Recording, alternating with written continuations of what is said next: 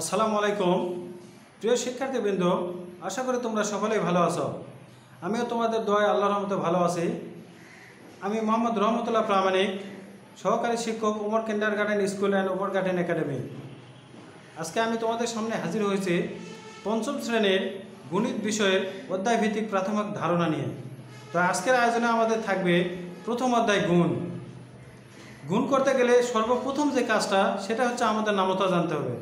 যদি আমরা নামতা না জানি, তাহলে কিন্তু গুণ করতে পারব না। সর্বনিম্ন এক থেকে দশ এর নামতা আমাদের জানতে হবে।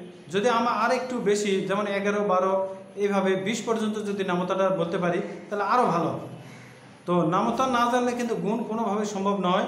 আর আরেকটা কথা যে, গুণের আবার কিছু অংশ আছে, এই অংশগুলো সম্পর্কে আমরা জানব।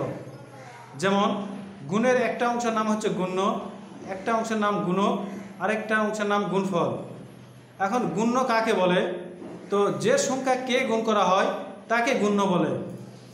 এর আরেকটা সহজ উপায় হচ্ছে গুণ করার সময় সবচেয়ে উপরে প্রথমে যেটা থাকে ওটাই হলো গুণ্য। এরপরে আমরা জানব যে গুণক কাকে বলে? যে সংখ্যা দ্বারা গুণ করা হয়, তাকে গুণক বলে। তো লম্বা দিকে যদি আমরা গুণ করতে যাই, প্রথম যে সংখ্যাটা গুণ্য, তার নিচে যেটা থাকে সেটাই হলো গুণক। আর গুণফলটা হচ্ছে, গুণ করে যে সংখ্যা পাওয়া যায় তাকেই গুণফল বলে।